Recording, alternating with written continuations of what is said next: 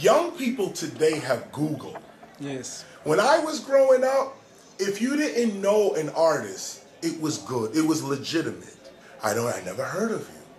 Today, Yes. Google. Everybody can know anybody. So I don't even know how to introduce myself, really.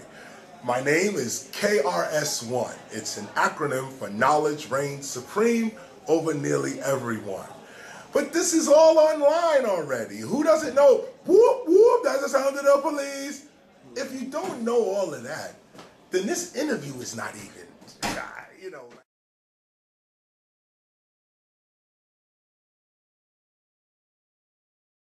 First of all, hip hop is not just a culture, it's a new civilization. Okay. Hip hop is one of the oldest cultures on earth. It is the first thing that human beings do when they come into existence. Yes. Breaking, MCing, graffiti art, DJing. Breaking is dance. The earliest form of human communication anywhere is dance. How you move. Move according to nature, move according to the fish, the lions, the gazelles, the trees. This is what hominin humans did. This is early human, Neanderthals, uh, Rhodesia man, uh, Australopithecus, uh, early hominin human. The reason most sociologists don't regard hip hop as a culture is because they don't respect you. Okay. That's the issue, or me. They don't respect us as people. Any culture, you could say the fans that went to see the Miami Heat play basketball, that's a culture. um, politics in uh, Washington, D.C., I guess, where I'm from, that's a culture. Now, those will be called subcultures, meaning you have blacks, whites, Asians, indigenous cultures all coming together to say, uh, uh, be online. Everybody's online. So there's an online culture. There's an online subculture. Anytime groups of humans come together for one thing, they form culture. Now that's the textbook. I don't know the sociologists that can't see that. It's, they're ignorant, not us. They are. That's a subculture. Hip hop is a civilization. Now let me go back. Breaking. First things that human beings do is dance. Next thing human beings do is utter. This is MCing, not language. This is before language. This is before organized language, before all that. Uh, no, uh, no. That is called MCing. Sociologists only know rap, which is the commercial version of MCing. Their knowledge is small, not ours. We are MCs. E M C E E I N, MCing, spelled just like that. E M C E E I N, MCing. And the reason we spell it like that and DJing and writing like that is because we call these uh, expressions of ours elements. These are the elements. Breaking, MCing, graffiti, or DJing, these are elements. So whenever you write elements, at least the Chemical Society of the world writes their elements as penicillin, mucin. Um, uh, it goes on and on with the way you spell the way you spell chemical elements. Now most people look at breaking, and seeing and graffiti art and DJing and says, "Oh, just some black kids dancing." That's their prejudice. If we just look at the facts, we call our expression elements. We spell them as elements, not slang language. MCing, E M C E E I N G.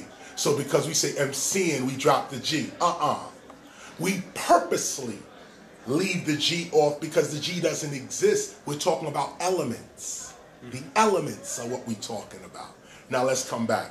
Breaking. First things human do, dance. Second things human do, utter. Beatboxing. Music with your body. That's ancient, ancient, ancient. before go to the great Buddha mm-hmm. in Asia. The the sign language, the hand movements of the Buddha, each have significance into the mind of the person watching. If the Buddha does this, it means one thing. If the Buddha does that, it means something else. So when you see women dancing like this, and they do it like the women in India and Asia, they dancing like this, they're speaking. Sign language was the first language. Before human beings could speak, we spoke in sign language. We hit body, head, we spoke like this, utter, uh, uh, uh, and used our hands. That's MCing and beatboxing. Beatboxing is a form of MCing. Graffiti art. Today it's called graffiti art. But anywhere you go in the world, graffiti art is the world's oldest art. Again, hominin humans. In Toulouse, France, they found stenciled human hands, which they call graffiti, by the way. Mm-hmm. 32,000 years old.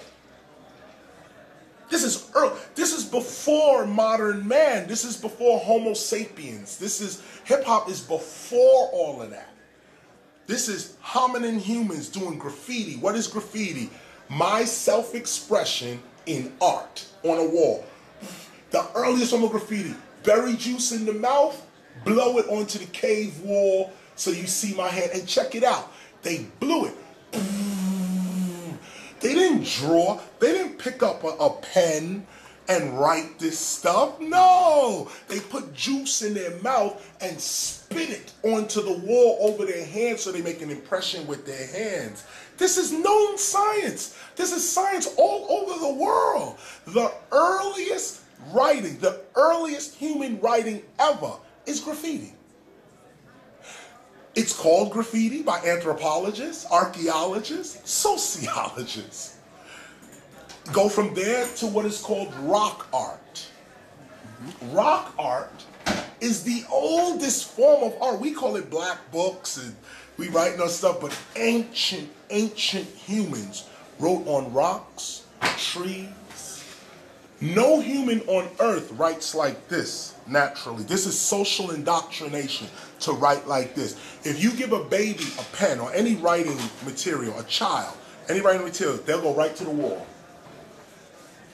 Yes. No human, if you give them a, a pencil, a young kid, you give them a pencil, they're going to go like this. Show me a table. Mm-mm. They're going to take the pen and out of their own natural self, they're going to go right to a wall and start writing the wall. And the first thing they're going to write is their name. This is known all over the world. This is this doesn't it doesn't matter what sociologists think. We have higher knowledge. They need to learn before opening their mouth. Now the last thing, DJing. Cutting, mixing, scratching. Woo! First of all, I just get excited talking about hip hop. DJing is not turntables and the technology. That's not DJing. Serato is not DJing. Technique turn not D beatboxing, not DJing. Cutting, mixing, scratching, that's DJing. What the human does to technology is DJing. Technology can never tell the human how to DJ. Never. That's not that's something else. If you talk about hip hop DJing, D E E J A Y I N. Yes. DJ, cutting, mixing, scratching. Invented by Grandmaster Flash and progressed by Grand Wizard Theodore. Cutting, mixing, scratching. Now, look at these elements of early human, early hominin. Dance, utterance, self-expression through art, cutting, mixing, scratching, which by the way, to an early hominin, when you when you cut or mix something, like for instance, scratching will give you fire. Cutting is uh, like when you when you get an animal or you you hunting animals or you are uh, looking through trees, you cutting herbs and things like that. Early humans, the cutters, were called stonemasons. Starts with stone. Cut, cut, cut. That activity is what we are doing today. It's what we're doing. We, when we hear that, that shiki, shiki, shiki, when early humans did that, shiki, shiki, shiki, whoa, fire came up. Or they carved, they ripped off a, a hide. Somebody's skin got pulled off because they're cutting it with a with a with a thing. Mixing, the blending of things that don't supposed to blend. This is early human psychology, early to take this and make it match with this. How do you do that? It's called high intelligence.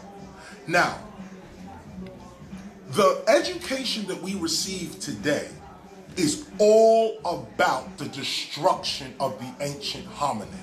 This is why we can't find, uh, this is why hip hop's true history has not been written down yet or even properly researched. Because hip hop's history is not the history of rap music. That's why they think it's not a culture, because they say, oh, rap is a, a, a music genre. It's not a culture. Rap is not a culture. Rap is a subculture like reggae, jazz, gospel. That's rap. But what rap comes from, what causes you to rap, is called hip hop. And that is a behavior. That's not music. That's an ancient way to be. That this society, this, this colonial society that invades nations and occupies other people's territories, they can never let you know this truth about yourself. Never. And this goes worldwide. This is worldwide. It's not just black, Native American. Mm-mm. All people on the planet are hip hop. All humans are hip hop. All of them. Every last one. Some know it mm-hmm. and some don't know it. That's the only difference. But, so let me come back to culture. Now, let's talk legally. Okay, we talked about anthropology, archaeology. Okay, that can't be, I don't know who thinks hip hop is not a culture and we're the first culture on earth. We're human culture. What everybody's trying to get away from. Put that to the side. Come down to legal. What's a culture? A culture is any time a group of people de- declare themselves a culture. Now, forget, let's say all the anthropology, man, throw it out the window. Throw the science out the. If I'm in power, I say I'm a culture, and you gotta agree with it. How can you tell me I'm not who I say I am? If I tell you I'm Japanese, how you gonna tell me I'm not? I'm telling you I'm Japanese. You say, no, but wait, Chris, you're black. You got hair, your nose, your lips, and the skin, you're black, Chris. I say, no, I'm Japanese. Now, either you respect me enough to say, then let me treat you like a Japanese person. Because you say you're Japanese. How can someone outside of you tell you who you are? That's so racist, classist, ignorant. And this is how this is what hip hop is being confronted with. I'm telling you I'm hip hop. All you're supposed to do is go, uh-huh. That's it. What opinion do you have if I say I am hip hop? You gonna tell me I'm not? That's like a, a, a Greek, uh, a Greek man, a woman say, I'm Greek. They say, no, you're not. Wait a minute. What you, I'm Greek. No, you're not. Someone says,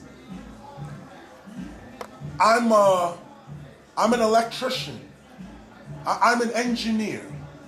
I'm a doctor. I'm a chef. Someone says, no, you're not. What right do they have to tell you you're not? The only way somebody could say you're not what you are is if you're not being it. Like if I say, I'm Japanese, but everything I do is African, then you got all the right to say, you ain't Japanese, get the hell out of here.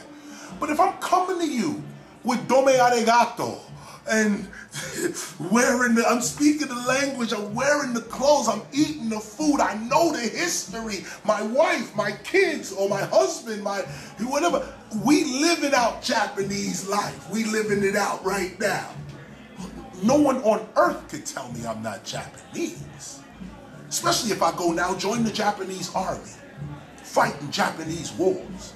Other Japanese people will accept me and say, no, he's not black, he's our brother, he's Japanese with us. No outside person could ever tell you who you are, ever. Now, that's just legal. I am hip hop. Now, you have to prove that I'm not. Not me. I know who I am. I'm hip hop. You have to say, oh, you don't agree? You don't. Who cares if you agree or not? I know who I am. Now let's go further into legal. May 16th, 2001, we took hip hop to the United Nations and we declared hip hop an international culture with UNESCO. The sociologists need to do more work, do more research, get some more. This is historical fact. We spoke, we was at Kofi Annan was the Kofi Annan's office was the overseeing office of our event. Our event is well documented. You can look it up, everybody knows it. We went to the UN, the UN accepted us. Forget these sociologists that don't know nothing. The, UNE, the, the, the, what is called UNESCO, United Nations Education, Scientific, and Cultural, Cultural Organization, UNESCO, said hip hop is a world culture. They said it. We went to the United Nations to accept the world culture status. I was there, of course. I was a keynote speaker. We spoke of hip hop being the culture. We signed something called a Hip Hop Declaration of Peace, which the United Nations has as well. 300 delegates were there at our ceremony. It wasn't just me and a couple of my boys. Everybody showed up and documented. Now, if these sociologists today don't have enough education, that's their problem. But hip hop is a global culture.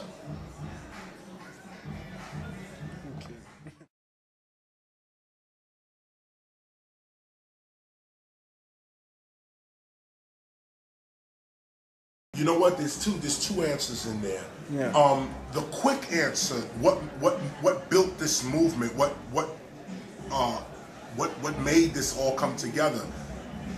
Is a guy named Afrika Bambaataa. Mm-hmm.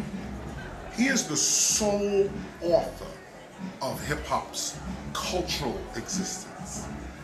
I'm called an architect of hip hop culture because I popularize it.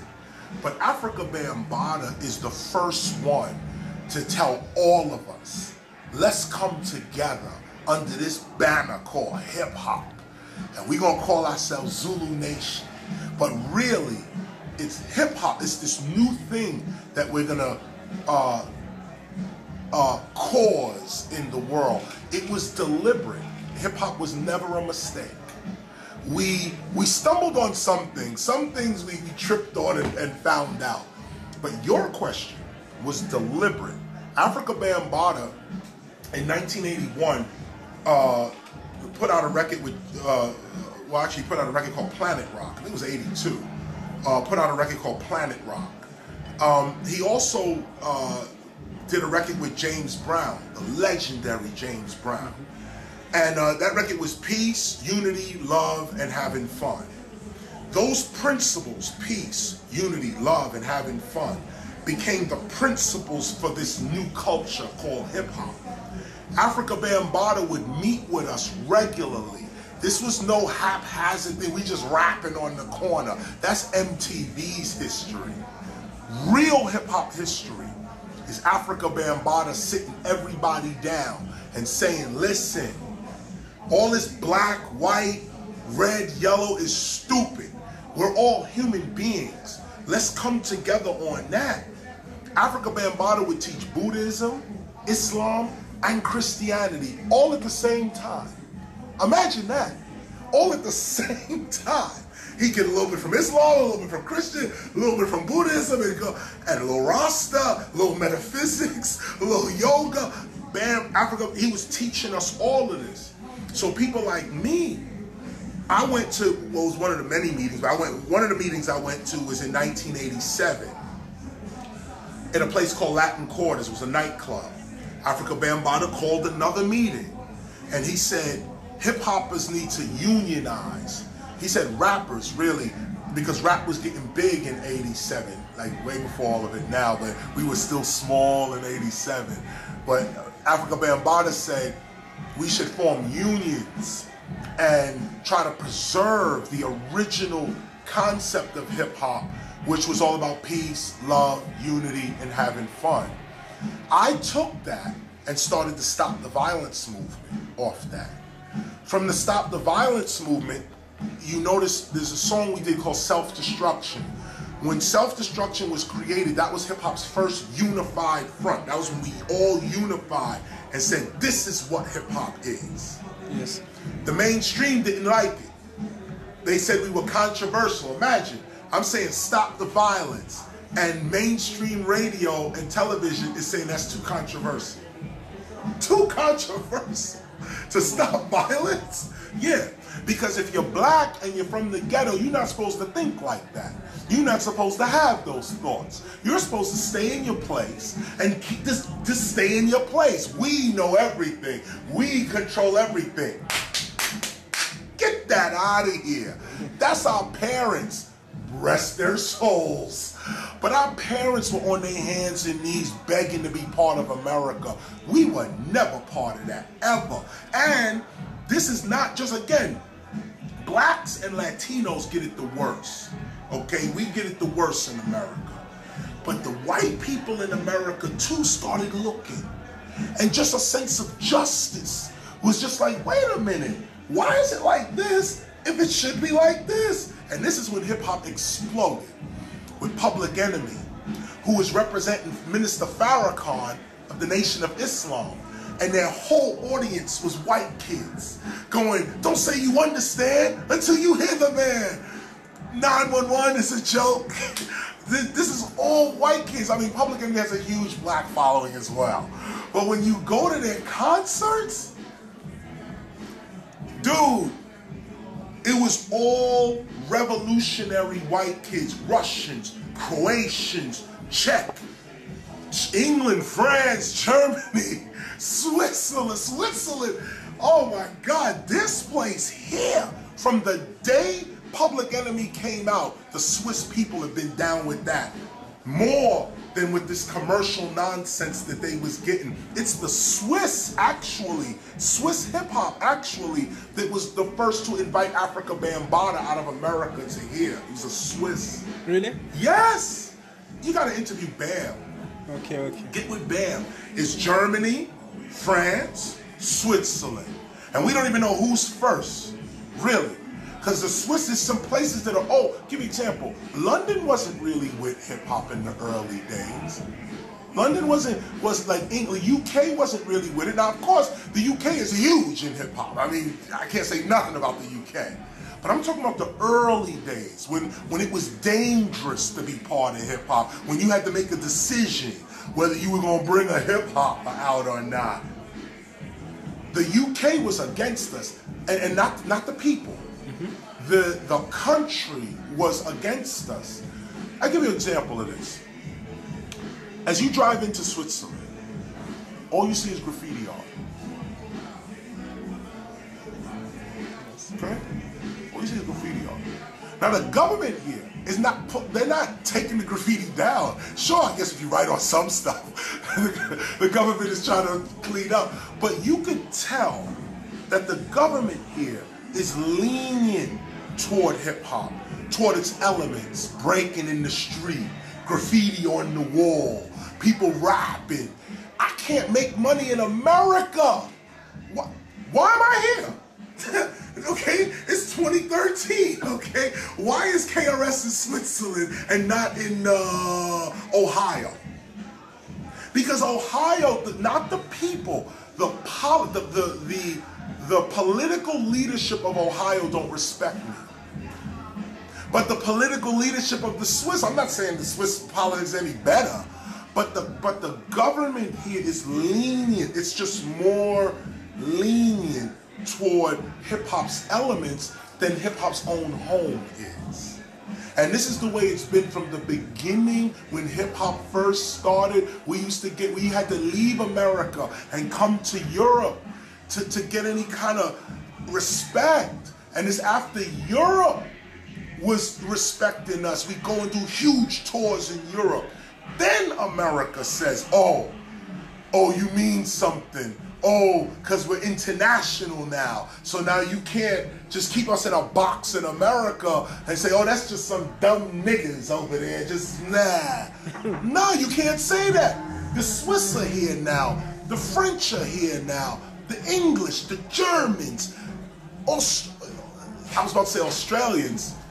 I just came from Australia. Hold on one second. How's that? The Swiss in particular, all Europeans really, but I'm in Switzerland, let me talk about the Swiss. We've been coming here from the day we began in hip hop, from the day we started.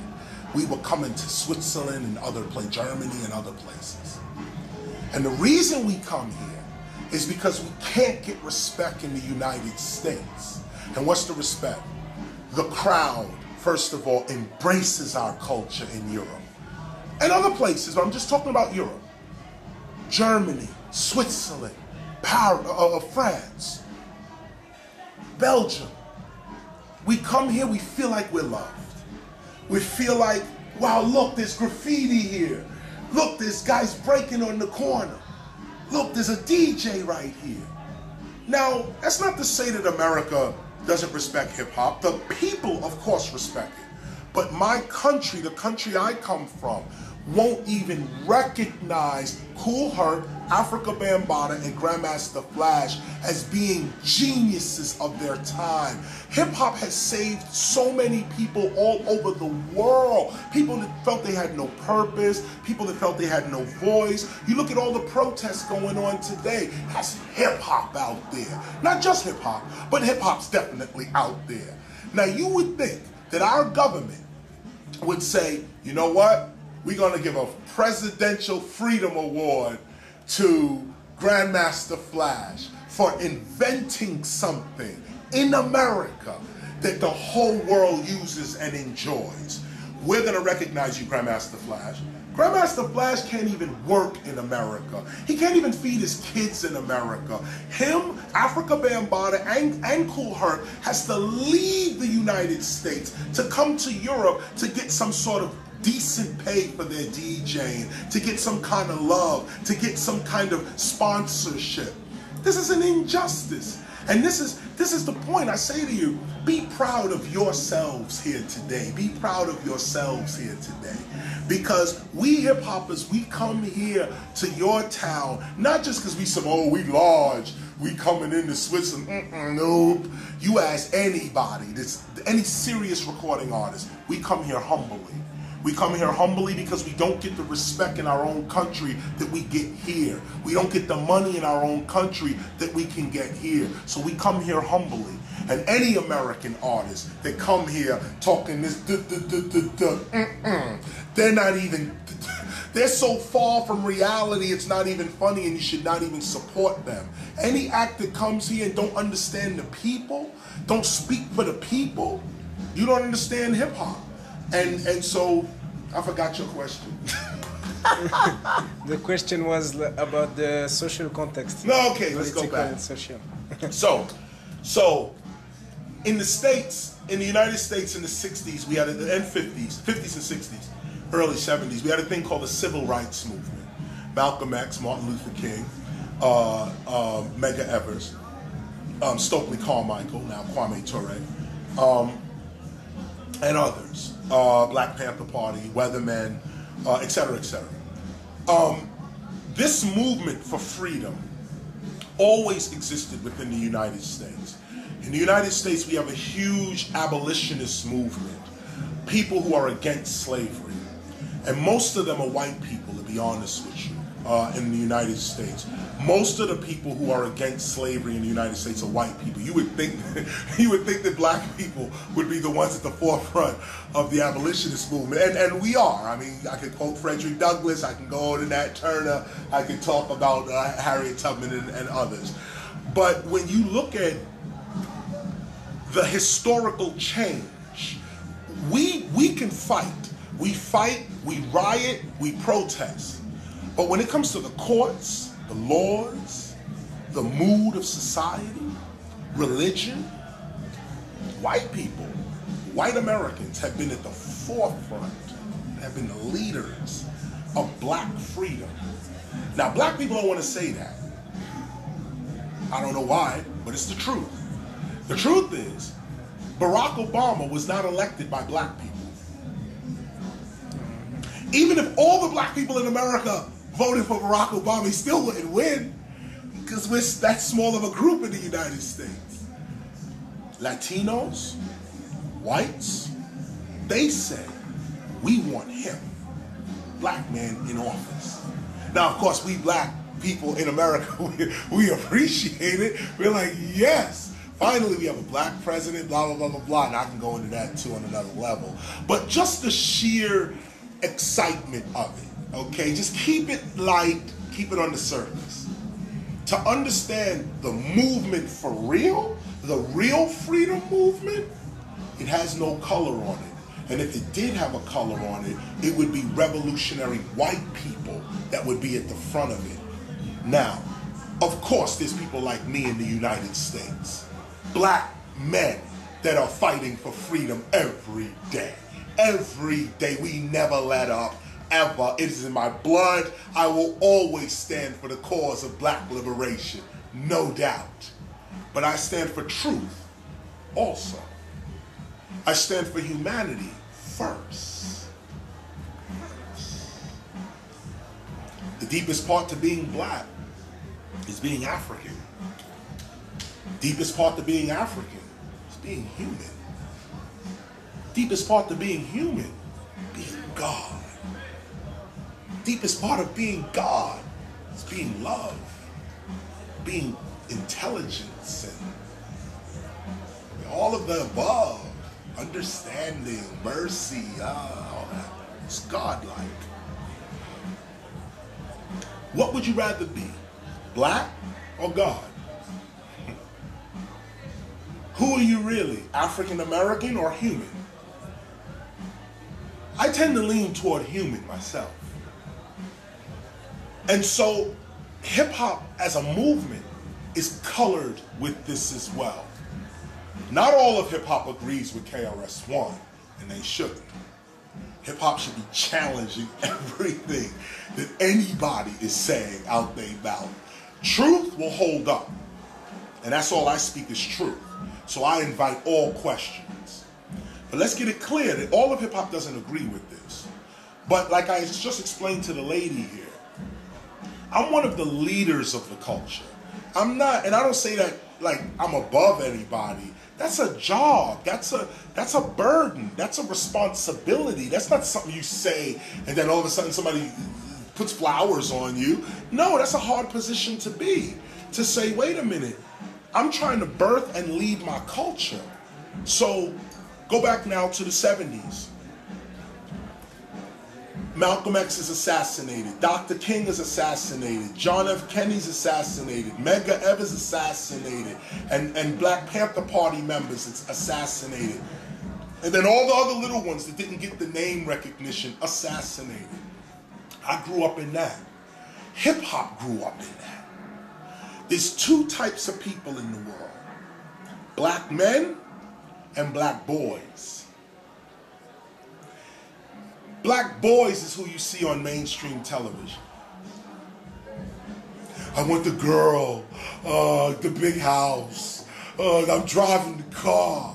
That's little boy stuff. And any man will let you know, any man knows that. Any adult knows that. Now, I'm not saying that when you're on TV, you can't aspire for the good things in life, no doubt. But a man, a real man, he gets on the TV and first, he looks for his kids. Let me make sure my kids ate today. Are they clean today? Did they learn something today? Uh, are they protected today? Before I can even talk to you, is my kids good? It's a man. Is my woman good? Is she feel? Is she empowered? Does she feel like she can breathe? Is she expressing herself? Does she feel loved? What's my woman doing? Most of the rappers you see on TV, they have no woman in their life. they have little girls who are only interested in little boys. So they play little girl, little boy games. Mm-hmm. I want the guy with the car. That's a little girl, a little boy. I can't argue with that. Leave all that over there. Okay, there's a little girl, little boy arena that rappers play into. But the majority of us are men and women. The majority of us. So the movement starts with black men. Hip hop begins with black men in particular. In particular, not black boys, not white boys, not Asian boys. Men, black men, talking to white men who are talking to Asian men who are talking to Latino men. We all come together and we say, like my man, um, oh man, I can run down like in graffiti, you got Taki 183, one of the most famous graffiti writers in hip hop. He Greek. You got Quick and and Seen, who I think is Italian. Seen, rest rest in peace, he passed. But Seen is one of the one of he's a he's a legend in graffiti writing. It's a white kid. Cap, big cap, who used to run around crossing everybody out. White kid. They not hip hop? Of course they hip hop. But also, they recognize that this ain't about color. This ain't about race. Even white kids that live in, in the neighborhoods in the Bronx, they know they, they, they're just as oppressed as we are. And they feel it every day. These are men, okay? Men, white men, who are getting hit over the head by the cop, called nigger lover. Or you just want to be a nigger lover by other white men. You walking down the street with your black girlfriend, and you got blacks and whites dissing you because whatever. No, that's a man standing for his principles. Give a fuck what y'all think about me and my wife. I'm a man. Step over here, I'll give you two in your head. That's what I'm talking about. Now, that's where hip hop comes from. That. And that's what we're missing. Because now everyone regards hip hop as mainstream and MTV, and that's little boy stuff. Even the executives that work at MTV are little boys and little girls, all of them. Because there's no way a man is going to program what's being put on MTV. No way. You cannot say you are a man and then program MTV to be what that bullshit is. You, you don't think that uh, that is selfish, man? No. No? The selfish reduces you to a boy. Yeah, okay. the minute selfish, boy. Uh, angry, boy. Uh, racist, boy. Sexist, boy. All that just anything you put in front take you down the board. now you may start out as a man, but the minute you open your mouth, we're gonna see if you really a man or not. We're gonna see. And what's happening is rap music through mainstream media is turning all boys into boys. They're not raising them as men. They're not raising us up as men. And this is the movement of hip hop, maturity. This is it. This, the, at least the first part of it was maturity. I'm not that kind of man. I'm this kind of man. And now we're going to stand on it. What is it? It's Malcolm X. Oh, word. What is it? It's the Black Panther Party. Oh, word. You go to any prison in the United States right now, go to any prison in the United States. If they know, if the, if, if the prisoners that are there, if the people, the inmates that are there, if they know that you stood for revolution, you have no problems in prison. If they saw you on the TV and they in prison and they saw you on the TV go, gangster, gangster, I got the guns out. We on the corner selling crack. The minute you get in prison, you're finished. you're done. You're done. Oh, you a gangster? Come on in here now. Come on in here with some real gangsters. And let's show you what gangster is. Because those, the people, most of the inmates in prison started out as boys went to prison and became men. Then they're in prison, they realize, damn, I shouldn't have killed that person. I shouldn't have robbed that person. But now you in prison. So now you realize yourself, but you in prison. So now you get aggravated with other people who are talking about robbing and shooting and killing and selling drugs. You're like, yo, all you're gonna do is wind up right here. So if you dumb enough to be out there talking like that, the minute you come in here, dude, we waiting for you. I'm, I'm waiting for you. But now you let somebody like Chuck D or, or Immortal Technique or Dead Prez or let any of them go to jail for any reason. They'll have dudes washing their underwear out for them and being like, yo, dog, yo, what you stand for, we protecting you on that right now. You let Cypress Hill B-Real. Let him go to prison and see the Mexicans come around him like a general. Ain't nobody touching B-Real right here. They say to their language. But this is manhood. Manhood! Yes. Right after manhood, here comes womanhood. And it's not right after, it's really first, and I'm gonna show you why. Hip hop politically begins with men. It begins with black men. It really does. It, it begins with black with the attitude of black men.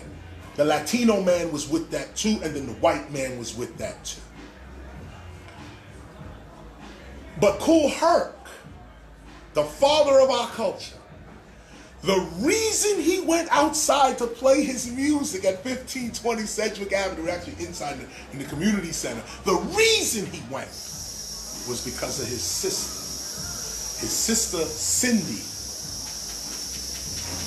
Cindy Campbell. Cindy, his older sister, was the one who said, Yo, Herc, go, as she said, um, he used to write, he was a graffiti writer, right? Cool ass Clyde and it was his bigger sister that said, "Could you DJ for my, my birthday party?" And he left the walls and became a DJ and started playing, uh, you know, James Brown and uh, Apache and all these classic records now. But let me go from him to her. Women, women, not little girls, women, real women is the purpose of hip hop, is the glue of hip hop. It's the glue of it. Men are the outward appearance of hip hop, black men. Behind them is all kinds of women. Start with Cindy with Kool Herc. And Pebblee Poo, first female MC, who was with Kool Herc. Take it all the way over to Sha Rock, who was with Funky 4 Plus One More. Take it over to Roxanne Shante, who had many battles and won, by the way. Take it over to Salt-N-Pepa. Take it who was battling Dougie Fresh when they first came out. Take it over to Queen Latifah, MC Lyte. These are hip hop women. Okay? Take it over to them. Now, women are also the executives. Sylvia Robinson, legendary woman, her soul rest in peace. She was the founder and president, CEO of Sugar Hill Records, the first rap records to come out in a major way, putting aside the Fatback Band's King Tim III, which is true scholarship. But coming over to Sugar Hill Records, that was ran by a black woman. Grandmaster Flash, Treacherous 3, Furious 5, Sequence, all of a black woman. See the vision and put it out. I say all this to say, what causes the movement of hip hop? First, Afrika Bambaataa caused it. But go further back, Malcolm X caused it. Go further forward, Kool Herc caused it. No, he didn't. Cindy caused it. Uh, go even further, my mother caused it. And every single mother that raised a single boy to a man. This is also hip hop. As most hip hoppers, the early hip hoppers from 81 to 91, the golden age of hip hop, 90% of us raised by women. 90% raised by single women. Dad was not around. Hip hop is feminine in a lot of ways. Hip hop exalts the woman in a lot of ways. mainstream says, oh, hip hop is misogynist toward women. Hip hop degrades women. Stupid. What an idiotic argument. Those people who say that are not even part of hip hop. Because if you was part of hip hop, you know that it was Queen Latifah who put out I Need a Gangsta Bitch. A gangsta bitch, I need a gangsta bitch. Her artist was called Apache. He actually put the record out. But Latifah was the woman, the executive behind the record. Then Latifah puts out, Who you calling a bitch? U-N-I-T-Y. Your biggest record in hip hop. This is one woman. Anybody who looks at hip hop would look at Mary J. Blige and Method Man. Method Man, the record, all like, yo, all I need to get by. Shorty, I'm there for you anytime you need. For real, it's me in your world. Nothing makes the man feel better. Oh, I can't get his record, his, his lyrics together. But when you listen to the lyrics of Method Man and how he adores Mary J. Blige, he's just like, right, he's just like, oh, you're my world, you're my everything, you're everything. How is that misogyny? At the end of the record, he says to Mary, you my nigga. Does Mary go, why you calling me a nigga? No, Mary know exactly what he's talking about. She's like, word, they did the video together. She even went and did another record with Ghostface, which was even bigger than that one. This is real hip hop. Real hip hop. Not sociologists, not professors, they don't even know their own subject. How you gonna look at hip hop? They don't even know their own subject. They don't even know what sociology is. So to put a so to put a, put a period on it real quick, there's a little period here. The movement of hip hop, peace, love, unity, having fun. It comes out of the civil rights movement, the continuation of that struggle to get free and what is free. Not just free to run around do stupid stuff, but free to be a man, free to be a woman, free to raise a family. Right now, hip hop is in family mode right now. All of hip hop is in family mode right now. All of us, we got our kids with us. We're putting our kids on TV. Will Smith just put his son up. Snoop just spoke the blunt with his son. Actually, he um he, he actually no. What I want to say is that his daughter he just did a record with his daughter called No Guns Allowed. Um, just did a reggae record. Snoop Lion did a record with uh, his daughter and Drake. Big up to Drake, big up to Snoop and his daughter uh, for doing that record, No Guns Allowed. And they, they did a reggae record on that. That's Snoop. That's 187 on an undercover cop. Yeah, and you don't. That's him, okay? That's him, all right? Now he's my daughter. And no guns in school. Why? Because I'm a father really. And we knew that. When Snoop said 187, uh, we knew who he was then. Me and Snoop have been friends for years. Years. Does he look at me and say, oh, Kris is just preaching too much? Do I look at him oh, he's gangster gang? No. Snoop is probably more intelligent than I am. Think about this. Everybody who's everybody who is for the cause doesn't run around with dreadlocks and red, black, and green on.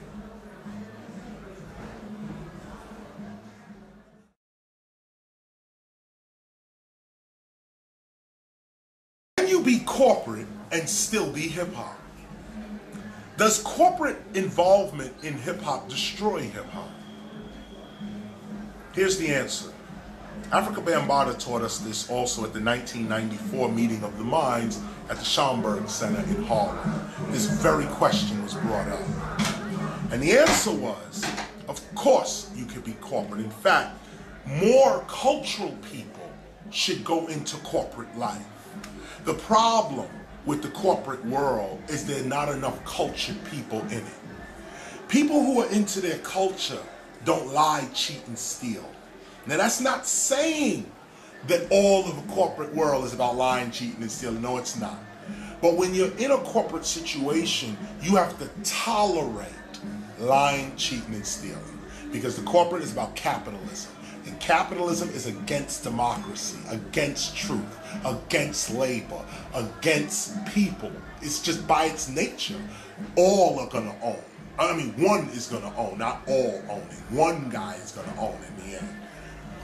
So if you're going to be in a corporate situation, if you're going to be in a corporate situation, what Professor Z, who uh, teaches at Lincoln University, hip hop scholar, the first actually, he said, when having intercourse with corporate America, use your culture as a condom.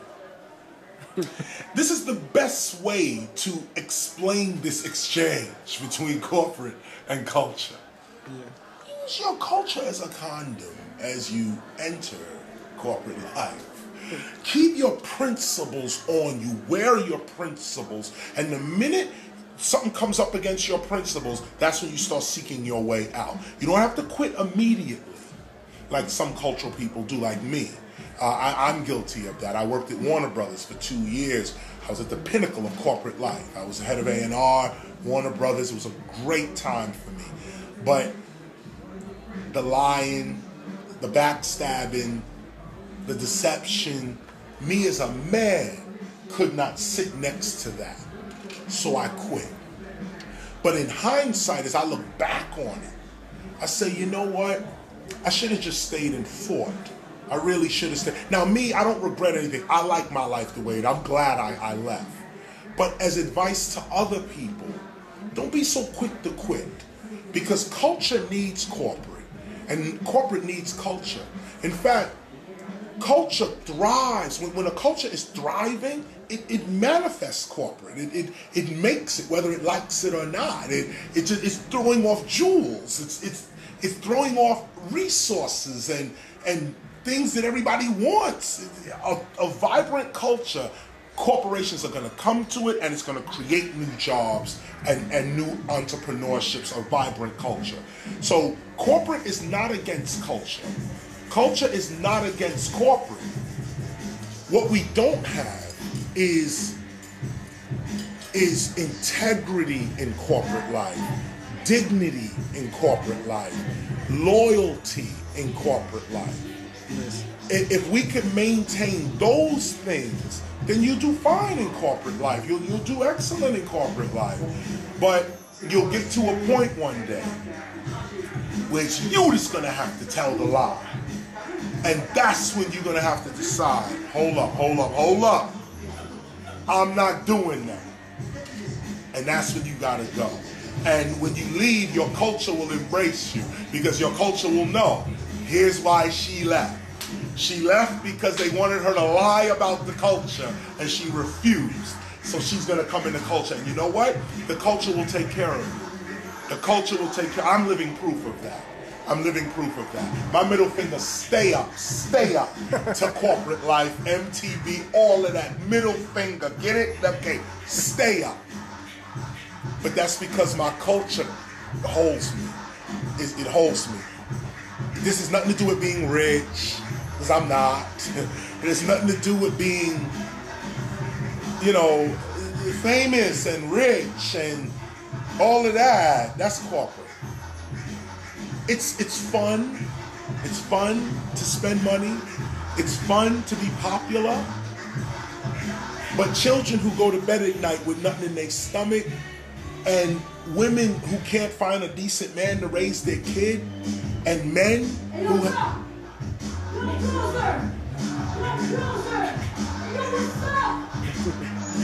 that is never going to leave the earth. That right there. See? I don't speak the language, but I know exactly what she's saying. I can feel that.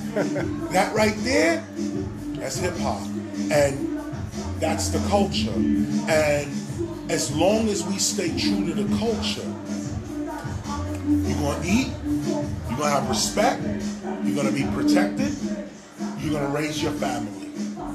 Now, on the level of corporate, hip hop is facing a new challenge today.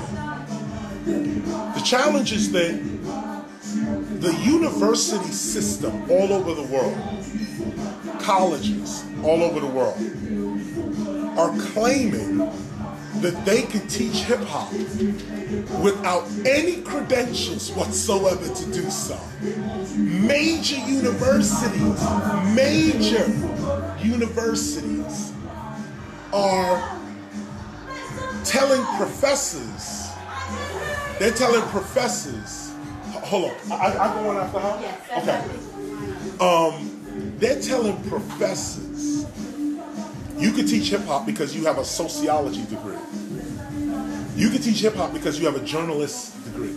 You have a degree in musicology. You have a degree in psychology. This is so ridiculous. This is like because I have a degree in engineering, I could teach law. Because I have a degree in medicine, I could teach culinary arts. I could teach you how to cook because I'm a doctor.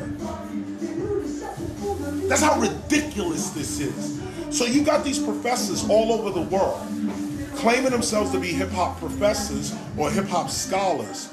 Never did a show, never made a record, never even supported the making of one. okay, never even, okay, you don't rap, but you you produced an album. Okay, you paid for one. You you made a beat. Nothing. Zero. They listen to rap music and then go, okay, now I can teach hip hop in a college. This is horrible for hip hop. I urge all hip hoppers to rise up on this. Anybody teaching you hip hop, if they don't have a degree from me, they're not hip hop. And I'm not saying that egotistically. I'm the first master teacher of hip hop. The first time hip hop ever had a teacher, it was KRS-One. When nobody was even thinking about teaching hip hop, I was teaching hip hop and teaching through hip hop. Not just rap, graffiti art, breaking, MC, all of the fashion, everything we were teaching. Now, they don't want me in the university because I'm going to expose the lies. So they get the people that they can control to say these are hip hop scholars. Then what they're teaching about hip hop, Tupac's lyrics, Biggie's life, uh, Criminal Minded is an album. We're going to listen to the Criminal Minded album and listen to what did KRS mean when he, this is not teaching hip hop. What's teaching hip hop is hip means to know. Hop is a form of movement.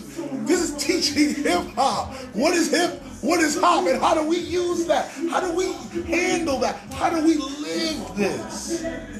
But we're going through something in hip hop right now that all true hip hoppers should be questioning these professors. You see the way people are protesting in the streets all over?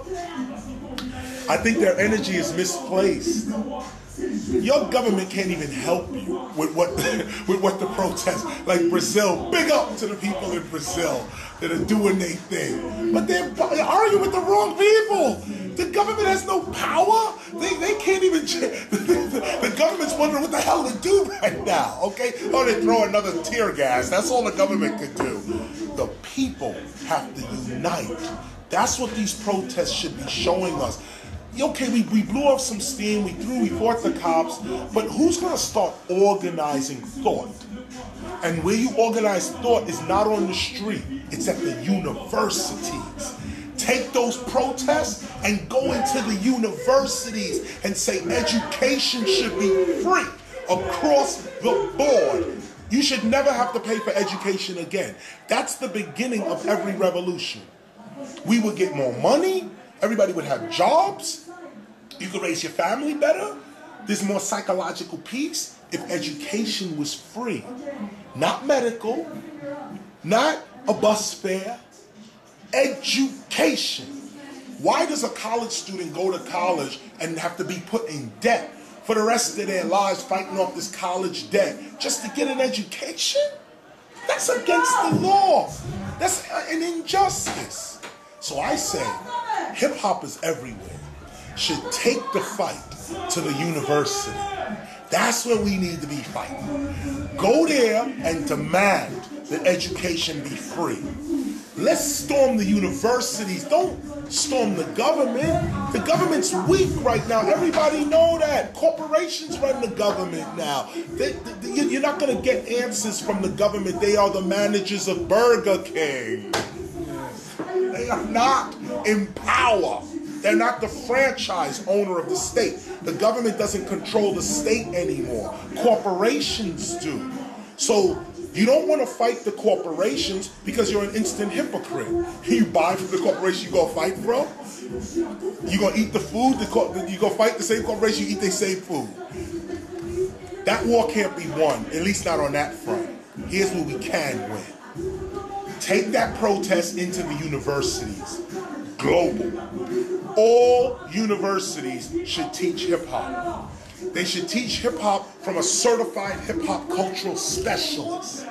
This alone would create a million new jobs around the world. If, if universities would just comply with hip hop's cultural principles, two million jobs open up for everybody around the world. Open up for everybody.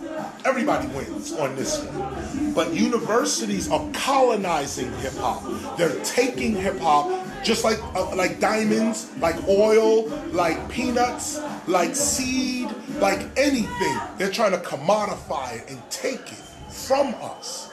And hip hop should not stand for that. Take your protest to the university and demand more knowledge, not more money. Demand more knowledge, not more freedom, even.